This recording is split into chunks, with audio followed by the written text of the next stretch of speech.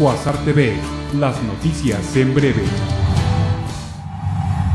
El gobernador de Michoacán, Jesús Reina García, reveló que el grupo de autodefensa de Buenavista Tomatlán podría estar detrás del ataque a civiles que se registró este lunes en la presidencia municipal de Los Reyes. A dos días de que Jesús Reina García fue ratificado por el Congreso como gobernador de Michoacán por 180 días, la dirigencia local del PRD le pidió que presente su agenda de trabajo esta misma semana, pues dice que los gobiernos estatal y federal tienen el abandono a Michoacán. Los hechos violentos ocurridos en Michoacán en los últimos días echan por tierra el discurso triunfalista de los gobiernos estatal y federal, señaló Víctor Báez, dirigente del PRD en el estado. El líder perredista dijo que Michoacán no tiene estrategias para el combate y la seguridad. Los legisladores panistas mantuvieron en su postura de que hubiera sido mejor otorgarle al gobernador con licencia Fausto Vallejo Figueroa un permiso superior a los 180 días a fin de garantizar el restablecimiento de su salud y la estabilidad de Michoacán.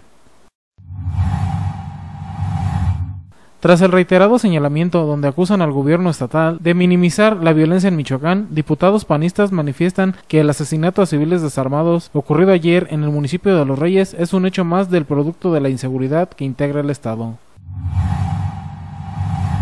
El voto de confianza otorgado por el Congreso del Estado y en particular a la bancada perredista al interinato de Jesús Reina García es el último llamado para resolver los problemas que aquejan a la entidad, precisó el dirigente del PRD en Michoacán.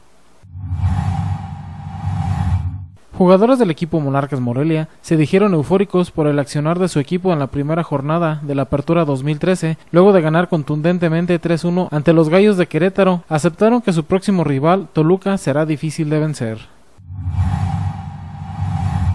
El Servicio Meteorológico Nacional pronostica para este martes 23 de julio en Morelia, Michoacán, temperaturas mínimas de 13 grados centígrados y máximas de 27 grados. Un canal de baja presión localizado desde Chihuahua hasta Guerrero producirá lluvias de moderadas a fuertes en el occidente y centro del sur del país.